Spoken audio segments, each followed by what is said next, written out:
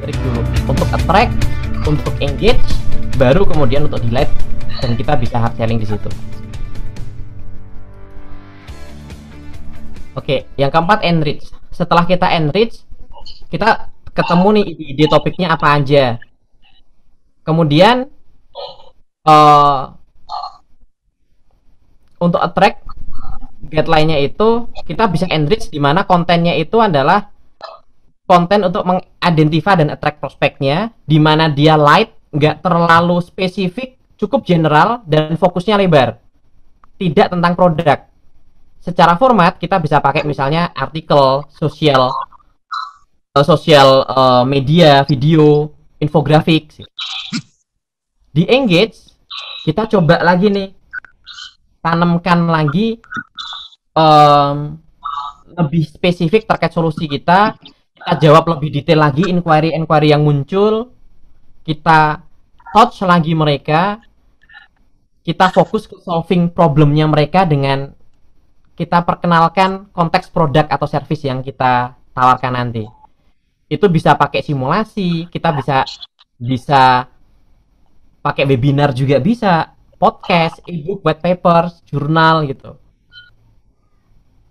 Kemudian untuk delight, delight kita benar-benar kita udah bisa menyaring mana sih yang prospek uh, berprospek banget untuk bisa kita convert ke uh, sales. Di mana kita lebih detail lagi terkait produk sentriknya kita produk kita. Kita lebih spesifik lagi terkait kontennya untuk bisa solving problems. Dengan cara misalnya ada kita kasih tutorial video kita kasih kayak kayak Bang Andi itu dia sering sering uh, ada tutorial untuk PowerPoint gitu kan. Bisa kita pakai seperti itu. Ada kita bikin webinar webinar atau workshop by invitation only free gitu. Terus kemudian pro bono consulting. Kalau coaching bisa pakai pro bono coaching dulu. Itu untuk um, kandidat-kandidat dari customer yang berprospek banget untuk bisa kita convert ke sales kita sebenarnya bikin funneling juga di sini. Karena kita nggak akan ketemu pertama kali ketemu baru kedua kali langsung kita tawarkan langsung ke produk. Kita attract dulu. Building uh, bangun relationship dulu. Dulu bangun trust baru kita bisa lebih gampang untuk uh, masuk ke produknya kita. Yang keempat. Yang ini contoh yang tadi uh, dari si topik-topiknya si Kevin saya mapping di masing-masing format how to use our advanced template feature kita bisa bikin online macro learning jadi bikin workshop online yang itu free untuk undangan-undangan yang yang kita seleksi.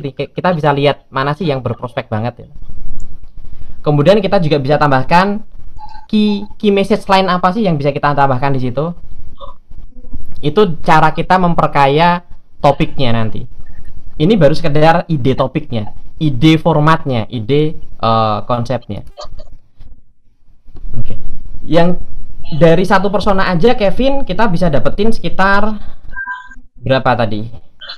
Bisa sekitar kalau saya bisa sekitar 4 4 uh, 3.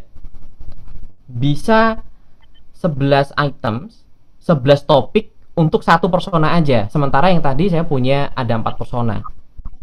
Katakanlah 10 deh. Satu persona itu ada 10 topik, empat persona kita udah punya 30 topik tuh.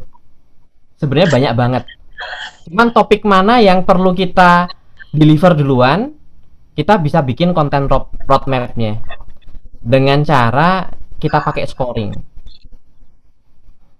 Untuk cost automation, apa sih yang sebenarnya pengen kita omongin di situ? Ini uh, kesimpulannya atau call to actionnya, ini worth banget loh investasinya kalau diaplikasikan ke use case yang benar.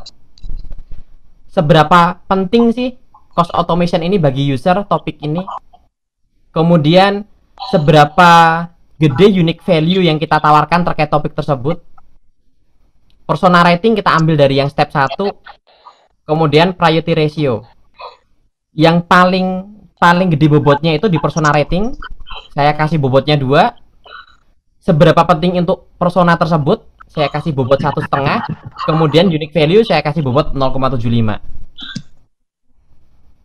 Dari situ nanti kita akan ketemu priority ratio yang paling besar itu yang akan kita kembangkan duluan. Jadi bertahap juga. Kita develop kontennya bertahap. Setelah kita punya list of priority dari roadmap ini, next stepnya ya tentu saja adalah content development dan nantinya content delivery. Yang to be honest tidak akan kita bahas di sesi yang singkat ini. Jadi kalau kita rekap, yang pertama itu kita identify dulu persona yang terlibat di dalam journey lingkaran pembelian uh, dari produk atau solusi kita. Yang kedua, kita tentukan aim-nya, tujuannya. Kita pengen persona itu ngapain sih ke produk kita? Beli produk, merekomendasikan produk, gitu. Terus yang ketiga, kita mapping ke stage-nya. Dia ada di attract, engage, atau delight. Dari situ baru kita brainstorm idenya apa, di attract apa, di engage apa, di delete apa. Yang keempat, kita go through lagi formatnya apa sih kita perkaya. Kita akan deliver itu dengan format apa? Format podcast kah, webinar kah, infografis kah, atau artikel kah? Marketing uh, kon, uh, marketing format bisa banyak banget.